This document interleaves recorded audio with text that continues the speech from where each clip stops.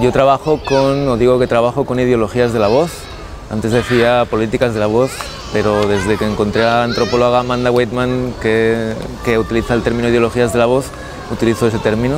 Con ideologías de la voz nos referimos a ideas socialmente, culturalmente construidas en torno a la voz, en torno, por ejemplo, a cómo relacionamos cualidades vocales con eh, el carácter o el género de alguien, ¿no?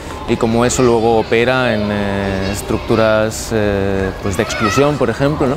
Ese es, eso es con lo que yo trabajo, yo trabajo con procesos que tienen que ver con, con archivar entrevistas, con eh, páginas web, con talleres, con trabajos sonoros, con conciertos, performance, etcétera, etcétera. Mm, El trabajo que estoy realizando aquí sigue el trabajo realizado en México, el proyecto se llama Voz Sorda, Aquí lo titulé Voz Sorda 2 Chiste Raro, porque quería poner el énfasis en, eh, en el artefacto cultural chiste. De hecho, yo proponía, les estoy proponiendo a la comunidad de personas sordas de acá el hacer un archivo online de chistes en lengua de signos.